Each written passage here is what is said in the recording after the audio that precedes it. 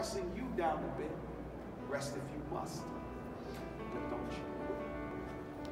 Because life is weird with its twists and its turns, as every one of us sometimes learns that many a person see they turn about when they might have won had they stuck it out. So don't give up though the pace seems slow. You will succeed with another blow. Often the goal is nearer than it appears to a faltering woman or man. But you see, success turned inside out. In the silver tint in this thing called doubt.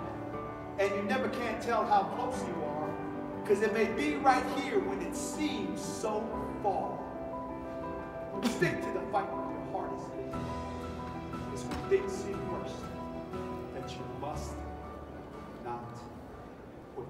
Vill jag inte få out där på alla tuivar, call me Coach Reed.